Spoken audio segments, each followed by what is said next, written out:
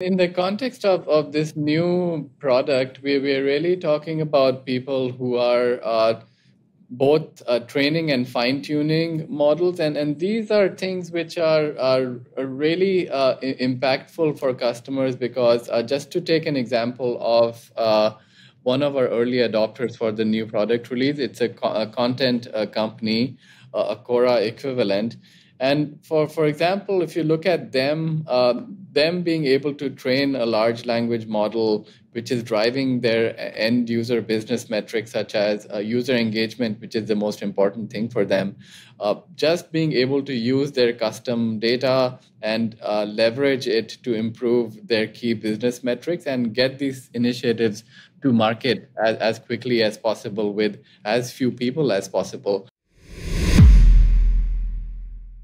Hi, this is your host Swapnil Bhartiya and welcome to Let's Talk About AI. And today we have with us once again Adit Madan, Director of Product Management at Alluxio. Adit, it's great to have you on the show. Hi Swapnil, nice to be here. The theme of today's discussion is the new announcement that you folks are making today, which is new data platform for AI.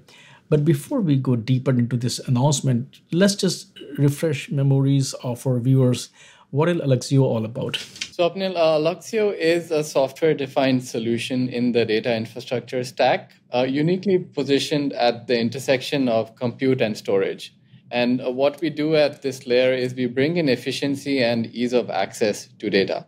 So our existing customers are using Alluxio to scale out uh, not just the capacity of their data platform, but also adopt a hybrid and multi cloud strategy. In today's modern world, we kind of live in a like AI driven world, right? Whatever we do, even our small ring watch, it has you know machine learning capability. Even my cameras is tracking my face, as you can see there. Uh, so, uh, what does it mean in today's world? How far we have come?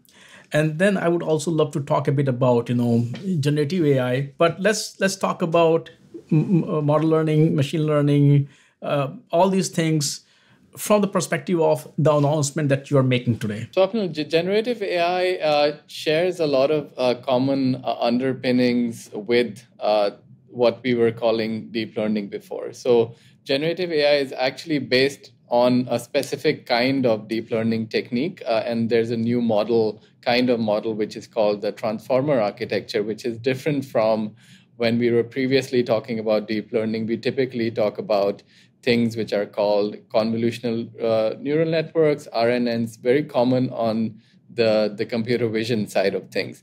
So the, the building blocks and the characteristics of uh, the models, whether it's uh, the deep learning kind of CNN, whether it's the deep learning kind of, uh, of transformer networks which power the generative AI today, uh, both kinds of models, both kinds of models have similar demands from a system like Alluxio. And, and today I'm, I'm excited to share that uh, our early adopters of the new product are actually training all, uh, large language models on top of Alluxio, which is based on the new transformer architecture, and also uh, uh, the different kinds of CNNs, which are common for computer vision and in the autonomous driving industry. There was a time when we used to talk about, hey, every company should have, you know, uh, cloud strategy. Every company should have software strategy, otherwise you will not survive.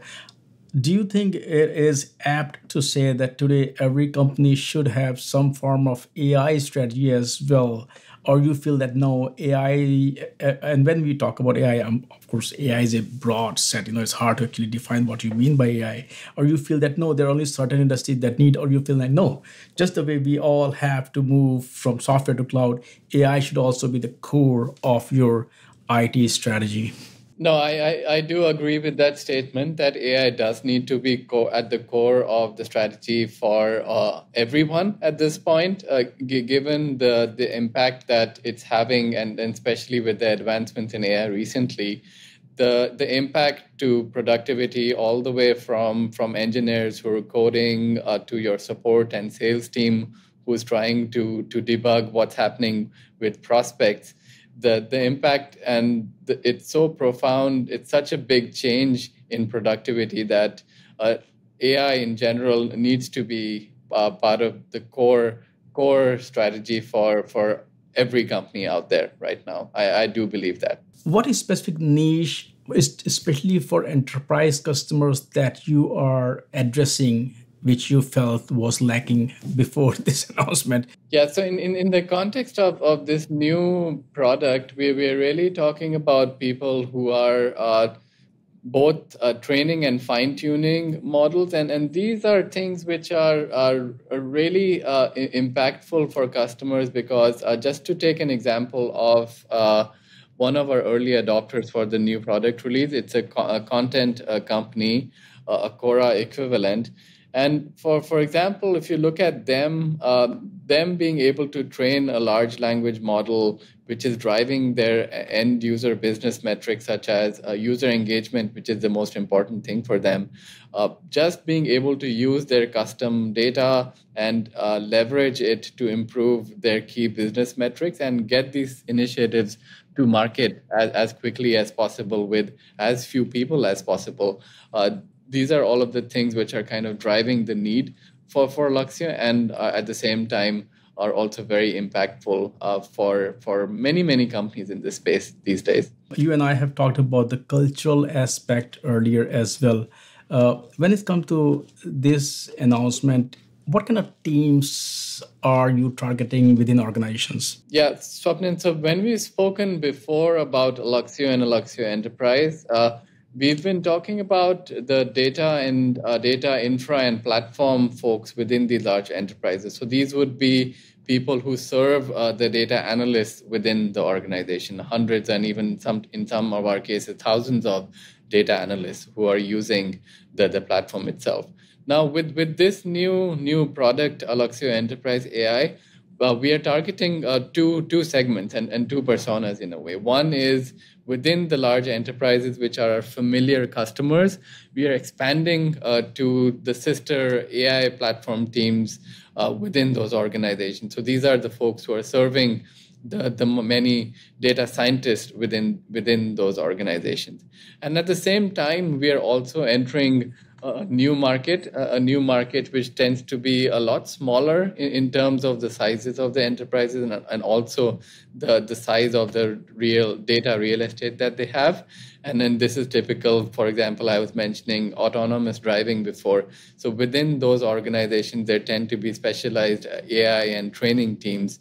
So that's kind of the two personas, but uh, platform folks who are using a do it yourself uh, platform are the buyers of Alluxio. There is a kind of gap in supply and demand of these folks.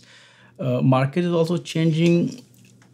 Talk a bit about how under stressed organizations are to also be able to get on board with all these AI activities happening and how Alluxio in a way make it easier, simpler for so that organizations can deal with this either with a smaller team or free time of their teams to focus on other things that add a lot of business value to their organization? I feel like right now uh, we we all know that uh, given the importance, as we talked about, of uh, uh AI and an AI strategy within the enterprise, that the knowledge and there's a lot of learning aspect to it on how to appropriately make make use of the technology uh, and the infrastructure that is available right now. So, and that's why there's a lot of AI consultancy companies flourishing uh, uh, as we speak.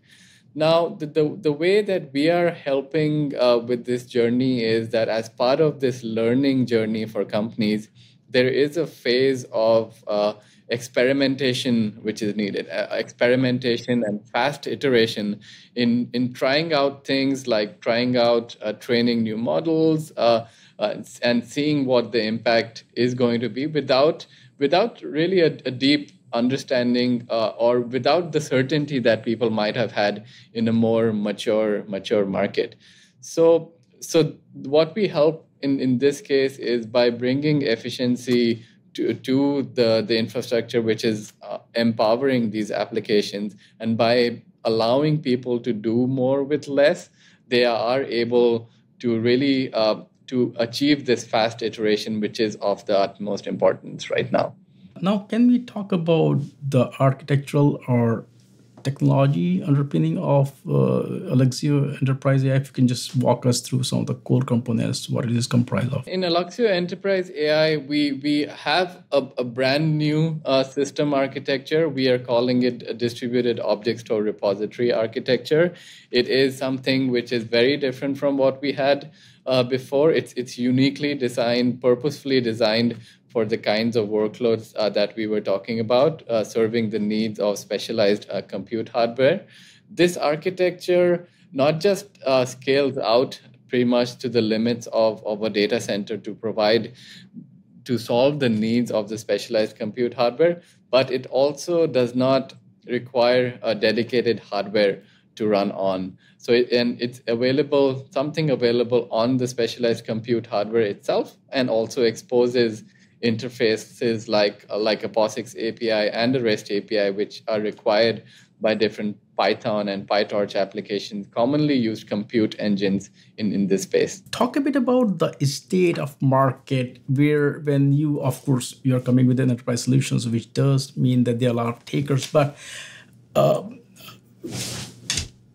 is it where, where where we are? Are we at a phase, where you feel there's a lot of education needed you know to to show the value of these? Or you're like no this is more or less like uh, we have moved to a phase where companies are demanding solutions. We don't have to uh, invest any time in education or you know awareness about hey this can help you. Where are we? We are definitely at a stage in which we don't don't need to educate uh, people uh, about the need uh, for the technology in in the space that we are talking about today and Alluxio Enterprise AI, then the need for data access is uh, actually a, a, much more uh, well established and well understood problem. So as we started uh, in as we were incubating this and we were putting uh, making this proposition to early adopters of the solution, we were uh, we we were very pleasantly uh, encouraged by the the response that we got and how easily understood this problem was.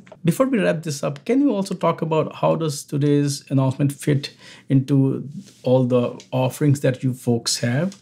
And if you can also talk a bit about the pricing model for this enterprise AI solution. So before today, we, we had a single enterprise commercial offering. Uh, we were calling it Alluxio Enterprise. And going forward, we are forking that off into what was called Alluxio Enterprise is now called Alluxio Enterprise Data.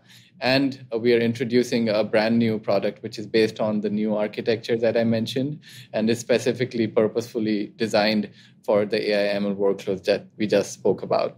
This, this platform uh, is available uh, uh in a subscription model. Uh, it's based on the amount of storage and concurrency that is demanded from the Alluxio platform itself. Adit, thank you so much for taking time out today and of course uh, discuss this announcement. And also, I really appreciate your your insight, your take on the larger AI, generative AI space. Thank you for all those insights. Thanks for the pragmatic approach there. And I would love to chat with you again. Thank you. Thank you, Swapnil. Enjoyed our conversation as always.